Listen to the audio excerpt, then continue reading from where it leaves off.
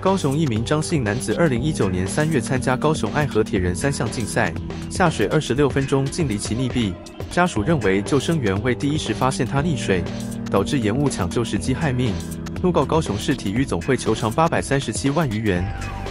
高雄市体育总会抗辩，比赛当天爱河沿岸每隔一百公尺就有设置浮台，且浮台上均有两名合格救生员，